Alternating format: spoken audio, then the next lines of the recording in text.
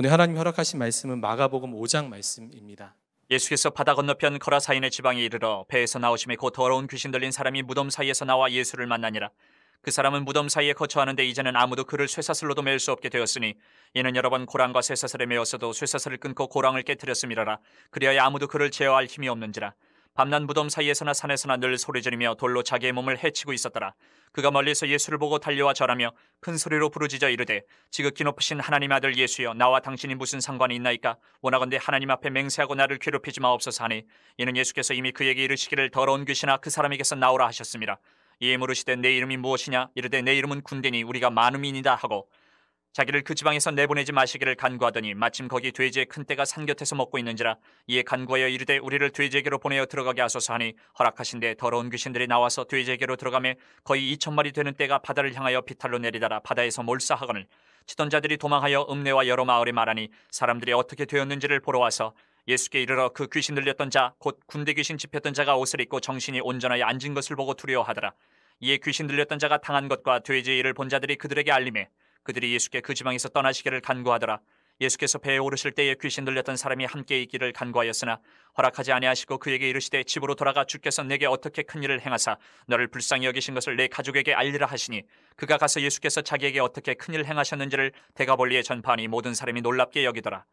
예수께서 배를 타시고 다시 맞은편으로 건너가시니 큰 무리가 그에게로 모이거늘 이에 바닷가에 계시더니 회당장 중에 하나인 야이로라 하는 이가 와서 예수를 보고 발 아래 엎드려 간곡히 구하여 이르되 내 어린 딸이 죽게 되었사오니 오셔서 그 위에 손을 얹으사 그로 구원을 받아 살게 하소서 하거늘 이에 그와 함께 가실새 큰 무리가 따라가며 애워싸 밀더라.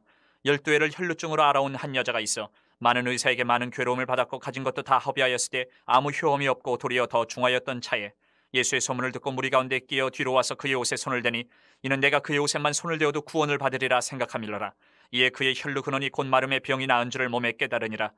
예수께서 그 능력이 자기에게서 나간 줄을 곧 스스로 아시고 무리 가운데서 돌이켜 말씀하시되 누가 내 옷에 손을 대었느냐 하시니 제자들이 여짜오되 무리가 에워싸 미는 것을 보시며 누가 내게 손을 대었느냐 물으시나이까 하되 예수께서 이 일 행한 여자를 보려고 둘러보시니 여자가 자기에게 이루어진 일을 알고 두려워하여 떨며 와서 그 앞에 엎드려 모든 사실을 여쭈니 예수께서 이르시되 따라 내 믿음이 너를 구원하였으니 평안히 가라. 내 병에서 놓여 건강할지어다. 아직 예수께서 말씀하실 때에 회당장의 집에서 사람들이 와서 회당장에게 이르되 당신의 딸이 죽었나이다. 어찌하여 선생을 더 괴롭게 하나이까?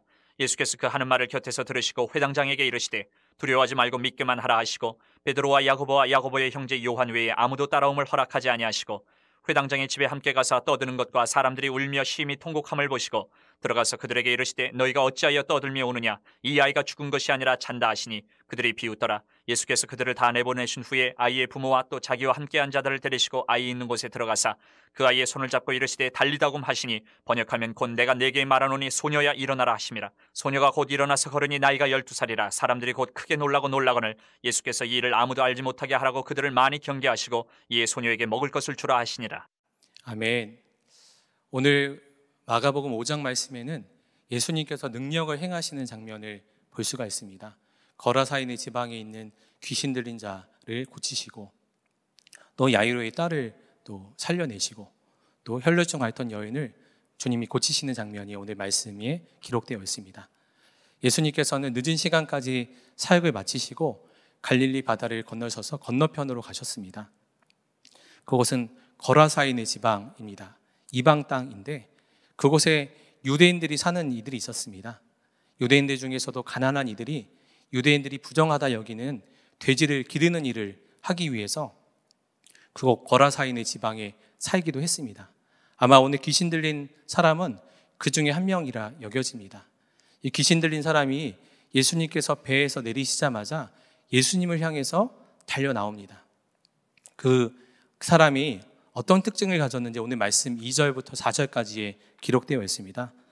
더러운 귀신 들린 사람, 또 무덤 사이에서 거처하고 아무도 쇠사슬로도 밀 수 없게 될 정도로 포악하다. 또 밤낮 소리 지르며 돌로 자기 몸을 자해하는 사람. 이 말로만 들어도 아주 끔찍한 모습일 것입니다. 사람들이 근처에 가까이 할 수밖에 할 수도 없을 정도로 그 모습 자체도 끔찍하고 또 그가 소리 내는 것 자체가 아마 사람들의 마음을 두렵게 만들 정도로 그 사람의 행색 자체가 아주 심한 모이골이었을 것입니다. 그런데 그런 사람이 예수님을 향해 달려 나온 것입니다. 그 안에 있는 귀신이 자신의 이름을 군대라고 했습니다.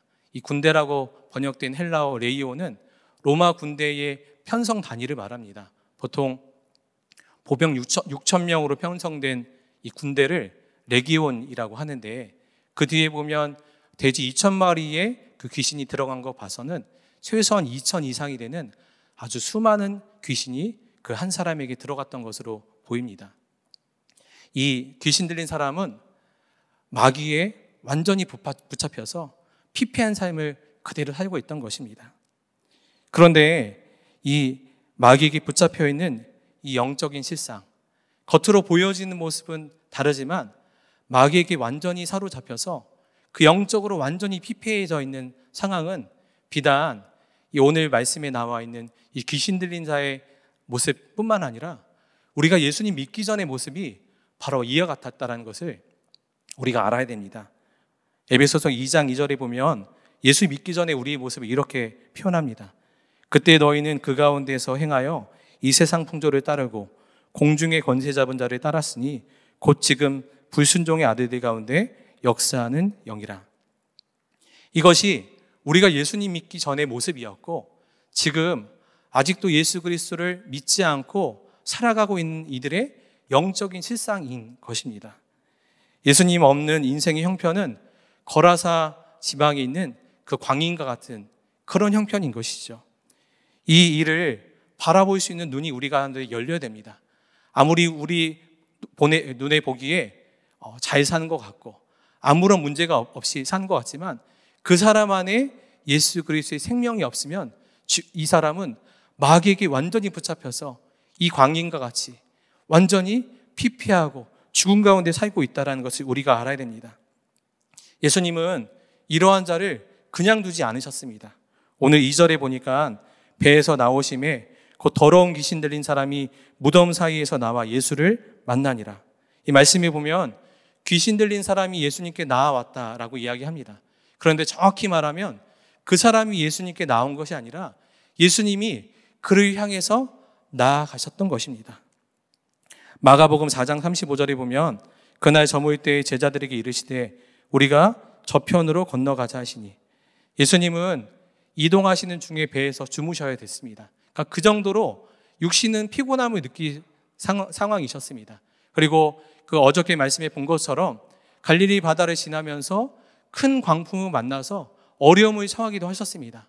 아마 이것이 이 상황이 계획된 일이 아니었으면 이 거라사인의 지방에 온 것이 그냥 잠시 시간을 내어서 온 것이었다면 이 여정 자체가 아마 그냥 운이 없는 여정이었을 것입니다. 그러나 예수님은 이 한 사람을 만나기 위해서 의도적으로 거라사인의 지방에 찾아오신 것입니다.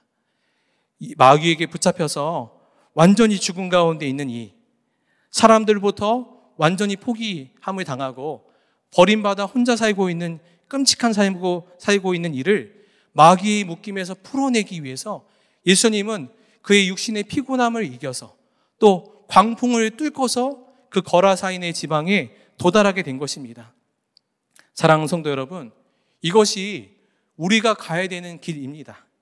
묶여 있는 한 영혼을 위해서 갈릴리 바다를 건너는 큰 광풍을 뚫고서 모든 수고를 감당하셨던 그 예수님처럼 우리도 한 영혼을 구원하기 위해서 수고를 아끼지 않는 그 제자의 길을 우리가 가야 하는 것입니다.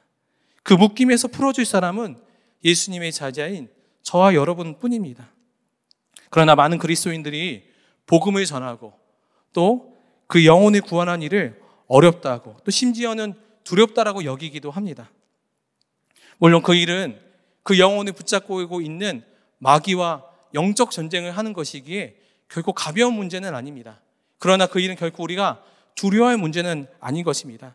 오늘 말씀해 보면 예수님이 귀신 들린 자 앞에서 섰을 때 귀신은 두려워 떨고 있는 것을 보게 됩니다.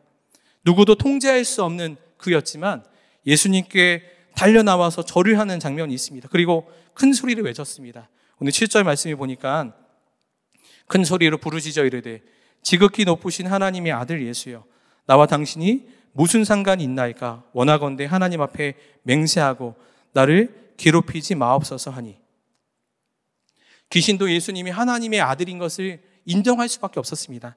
예수님 그분 자체가 나를 괴롭히지 마옵소서 할 정도로 그에게 예수님은 두려움 그 자체였습니다. 3장 11절에도 더러운 귀신들도 어느 때든지 예수를 보면 그 앞에 엎드려 부르짖어 이르되 당신은 하나님의 아들이니이다 라고 증언하고 있습니다. 그러니까 예수님의 존재 자체가 귀신을 떨게 만드는 권세가 있었던 것입니다. 그리고 그 권세를 우리에게 주셨다라고 마가복음 3장 14절 15절에 기록하고 있습니다. 이 열두를 세우셨으니 이는 자기와 함께 있게 하시고 또 보내서 전도도 하며 귀신을 내쫓는 권능도 가지게 하려 하심이라. 우리가 예수 그리스도의 복음을 전하고 예수님 믿지 않고 죽음 가운데 있는 그런 그런 자들에게 생명과 은혜를 전할 때에 이것은 영적인 전쟁입니다. 그러나 반드시 기억해야 될 것은 우리에게 귀신을 내어 쫓는 권세이신 그 권능이신 예수 그리스도의 이름이 우리에게 이미 허락되어졌다는 것입니다. 다시 말해서 우리가 그 전쟁을 해 나가는 데 있어서 우리는 공격자의 입장에 섰다라는 것을 기억해야 됩니다. 아마 여러분들도 예수님의 사람 제자 훈련을 받으시면서 그 교재에 있는 예언을 다한 번 보셨을 것입니다. 시댁에 가는 것이 그렇게 끔찍하게 두려워하는 집사님 한분 있었습니다. 그렇게 핍박이 심해서 갈 때마다 몸이 아프기까지 한 집사님. 이 문제를 놓고 기도할 때 주님이 주신 마음이 시댁을 사로잡고 있는 마귀도 너로 인하여 괴로운 것을 명심하라. 이런 말씀을 들으셨습니다. 그리고 그 말씀을 들은 후에는 더 이상 시댁 가는 것이 두렵지가 않으셨다고 합니다. 시댁 문을 열고 들어갈 때 속으로 이렇게 말했다고 합니다. 마귀야 괴롭지? 내가 또 왔단다. 나는 이제 절대로 뒤로 물러나지 않을 거야. 이렇게 외치고서 이 시댁 문을 들어가신 거죠. 그런 생각을 하니까 통쾌한 마음까지도 들으신 거죠. 얼굴 표정이 바뀌고 그러고 나니까 시댁 가는 발걸음이 더 잦아지고 사랑으로 시어머니를 섬겨드리니 시어머니의 마음도 조금씩 조금씩 마음문이 열리고 결국 시어머니를 주님께로 영접하게 하는 인도하게 하는 그 놀라운 은혜가 이분에게 있었던 것입니다. 이분이 내가 가는 것이 내가 두려운 일이 아니라 내가 이 시댁을 가는 것으로 인해서 마귀가 얼마나 두려워 떨고 있는지를 깨닫고 나니까 이제는 그 일이 두려운 것이 아니라 믿음으로 행할 수 있는 일이 된 것입니다. 우리도 이 영적인 감각을 잃지 말아야 됩니다. 우리가 복음을 전하고 누군가 만나서 생명을 전할 때 우리 마음 가운데 그런 두려움이 생길 수 있습니다. 내가 이 복음을 전할 때 예수님의 이름을 말할 때 거절당하면 어떻게 하지? 내가 일로 인해서 관계가 깨어지면 어떻게 하지? 이런 두려움이 우리 가운데 생길 수 있습니다. 그러나 우리가 기억해야 될 것은 마귀는 더 떨고 있다는 것입니다. 이 사람이 예수의 이름을 말하면 어떻게 할까? 두려워 떨고 있는 것이 그것의 영적인 실상인 것을 우리가 기억해야 됩니다.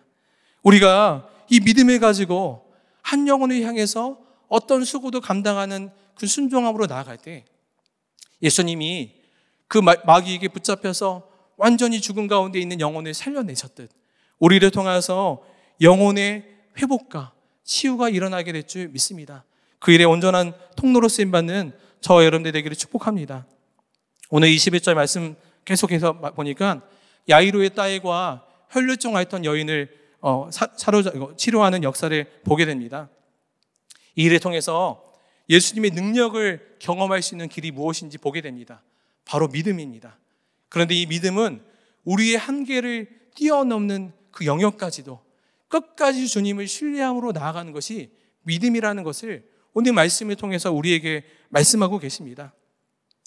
야이로의 믿음을 보니까 그에게는 자신의 딸이 치유받길 원하는 간절함이 있었습니다.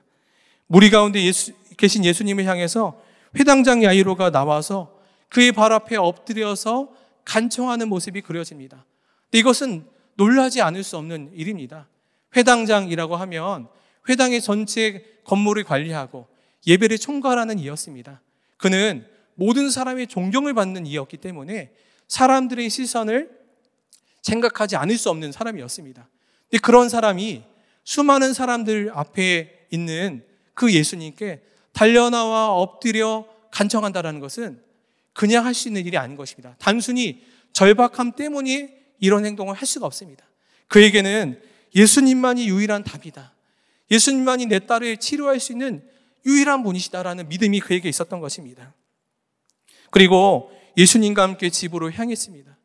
그러던 중 혈류증하였던 여인이 그 길을 가로막아서 시간이 지체되고 그 가운데 결국 집으로 오는 길에 자신이 딸이 죽었다는 소식을 듣게 됩니다. 온 35절 말씀이 보니까 아직 예수께서 말씀하실 때 회당장의 집에서 사람들이 와서 회당장에게 이르되 당신의 딸이 죽었나이다. 어찌하여 선생을 더 괴롭게 하나이까? 35절 말씀 통해서 회당장의 딸이 죽었다는 소식이 사람들을 통해서 전해진 것을 보게 됩니다. 그런데 죽었다는 소식만 들려진 것이 아닙니다. 그 뒤에 한마디 말이 덧붙여져 있었습니다. 어찌하여 선생을 더 괴롭게 하나이까? 사람들이 이제 수군거리기 시작했습니다. 다 끝났다. 이제 회당장 야이로의 딸이 죽었으니 이제 아무런 소망이 없다. 사람들은 곳곳에서 수군거리기 시작했습니다. 이 이야기를 듣는 야이로도 믿음이 흔들렸을 것입니다. 이제 다 끝났구나. 이제 더 소망이 없겠구나. 이런 마음이 회당장 야이로에게 찾아왔을 것입니다. 그 마음의 상태를 아시고 예수님께서 말씀하십니다. 두려워하지, 두려워하지 말고 믿기만 하라. 야이로에게 두 가지 소리가 들린 것입니다. 사람들은 다 끝났으니 포기해라 하고 예수님은 두려워하지 말고 믿기만 해라.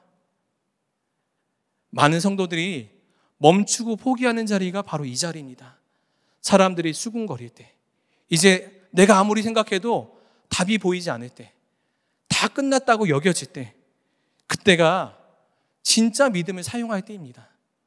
진짜 우리가 답이 없다고 여겨질 때, 낙심하고 주저하고 싶을 때, 우리의 믿음이 진짜인지를 실험할 수 있는 곳입니다. 야이로는 멈추지 않았습니다. 그는 사람들의 소리를 듣지 않았습니다. 예수님이 말씀하신 소리, 두려워하지 말고 믿기만 해라. 이 소리를 그가 믿음으로 취했습니다. 사랑하는 성도 여러분, 우리가 어떻게 우리의 한계를 뛰어넘는 그 수준까지 우리의 믿음을 주님께 드릴 수 있을까요? 그것은 우리 안에서 말씀하시는 주님의 소리를 들을 때 가능한 것입니다. 우리가 세상의 소리에 귀 기울이고 내 육신의 소리에 귀 기울일 때 우리는 결코 우리의 수준을 뛰어넘을 수 없습니다. 그러나 주님이 우리 가운데 말씀하시니 결코 포기하지 말아라. 아직 끝난 것이 아니다. 두려워하지 말고 믿기만 하여라. 말씀하시는 주님의 음성을 들을 때에만 우리는 우리의 수준을 뛰어넘어서 주님의 수준으로 나아갈 수 있는 것입니다. 야이로는 그 예수님의 음성을 듣고 믿음으로 취하고 끝까지 예수님을 신뢰함으로 나아갔습니다. 상황은 더 나빠지고 희망은 한순간도 보이지 않는 순간이었지만 믿음을 저버리지 않았습니다. 그리고 그 믿음은 행동을 수반했습니다. 그 자리에 주저앉아 있지 않고 예수님과 함께 다시 발걸음을 내딛기 시작했습니다. 그리고 예수님이 그 집에 도착하셔서 달리다금 소녀야 일어나라 말씀하셨을 때 죽은 그의 딸이 다시 일어나는 일이 일어나게 됩니다. 사랑하는 성도 여러분, 믿음은 행동을 수반하게 됩니다. 혈류증하였던 여인도 그러하였습니다. 그는 그의 믿음으로 예수님의 옷자락을 만지는 믿음의 행동을 하였습니다. 수많은 인파들이 둘러싸여져 있는 예수님에게는 옷도 스치고 예수님의 옷을 만진 이도 아마 수없이 있었을 것입니다. 그러나 그의 행동은 다른 사람의 행동과는 전혀 다른 행동이었습니다. 그의 행동은 믿음을 수반하는 행동이었습니다. 믿음이 있었기에 가능한 행동이었습니다. 옷자락만 만져도 내 병이 나음을 입을 거다. 믿음이 있었기에 가능한 행동이었습니다. 28절에 보니까 이는 내가 그의 옷에만 손을 대어도 구원을 받으리라 생각함일러라. 사랑하는 성도 여러분, 여러분에게는 나, 내, 나의 한계를 뛰어넘는 그런 믿음이 있으신가요? 그렇다면 그 믿음을 수반하는 행동이 있으신가요? 우리에게 가장 큰 믿음의 행동은 바로 기도입니다. 믿는 자들은 기도하기를 쉬지 않습니다. 그리고 기도하기를 결코 포기하지 않습니다. 여러분에게 이미 너무 오래되었고 아무런 가능성이 없고 이제 사람들도 누구나 다 말합니다. 다 끝났다. 이제 아무런 희망이 없다. 그렇게 말하는 문제가 있으신가요? 여러분들 가운데 기도하기를 포기했고, 기도하기를 멈췄고, 이제 너무나 두려워서 기억하지 않으려고 깊이 숨겨놨던 기도 제목이 혹시 있으신가요? 오늘 이 시간 그 기도 제목을 다시 한번 꺼내 들어 주님께 내어드리게 되기를 축복합니다. 멈추지 말고 끝까지 주님을 신뢰함으로 두려워하지 말고 믿기만 해라. 여러분들 심령 안에서 말씀하시는 주님의 음성을 듣고 다시 기도하기를 시작하는 그 믿음의 행동을 주님께 드려드리는 그래서 여러분의 인생 가운데 달리다금 일어나라 말씀하실 때 살아나는 역사가 일어나는 역사가 여러분들의 삶 가운데 여러분들의 심령 가운데 임하게 되기를 축복합니다. 이 시간 이 기도 제목으로 우리가 기도하기를 원합니다. 우리 8절 말씀 먼저 붙잡고 기도하겠습니다. 이는 예수께서 이미 그에게 이르시기를 더러운 귀신아 그 사람에게서 나오라 하셨습니다. 우리는 지금 악한 영과의 전쟁을 하고 있습니다. 우리가 이길 힘을 오직 주님께서 주십니다. 그 권세를 예수 그리스도의 이름을 우리에게 주셨습니다. 우리가 이 시간 오직 우리에게 힘 주실 주님을 믿고 의지하는 믿음을 우리에게 허락하여 주시옵소서. 마귀에게 붙잡혀 있는 영혼을 구원하는 생명의 통로가 되게 하여 주시옵소서. 날마다 영적인 전쟁에서 우리가 늘 승리하게 하여 주시옵소서.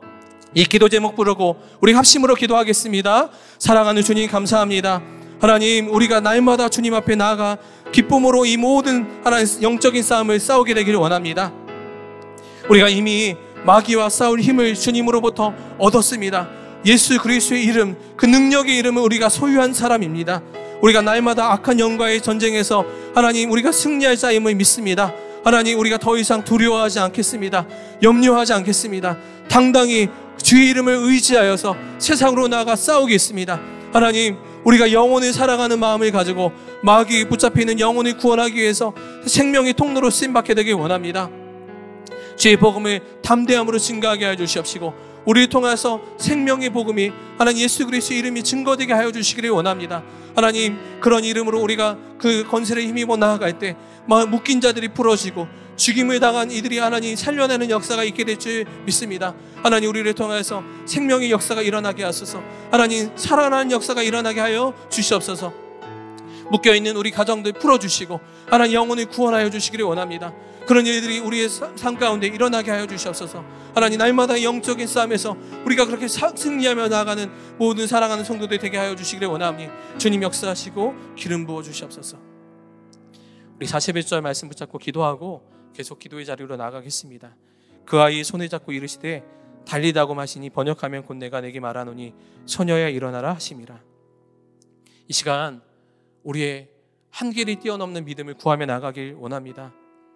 주의 음성을 들을 때 주님께서 우리에게 말씀하시는 두려워하지 말고 믿기만 하라. 이 음성을 들을 때 그 믿음이 우리 가운데 허락될 줄 믿습니다. 주님, 우리 한계를 뛰어넘는 진정한 믿음을 우리에게 허락하여 주시옵소서. 기도하기를 포기하고 멈춰졌던 문제들을 다시 주님께 올려드릴 믿음을 허락하여 주시옵소서. 우리 삶 가운데 주님 달리다금 말씀하여 주시옵소서. 하나님 우리 가정 가운데 아픈 자가 치료받게 하여 주시옵시고 묶여있는 문제가 풀려지게 하여 주시고 상한 심령이 회복되는 역사가 있게 하여 주시옵소서. 우리 주 이름 한번 부르고 간절한 마음으로 기도하겠습니다. 주여 사랑하는 주님 우리 이름 가운데 하나님 말씀하여 주시옵소서. 우리가 주의 음성을 듣습니다. 하나님 우리가 주의 음성을 듣습니다. 세상의 소리에 귀 기울이지 않고 하나님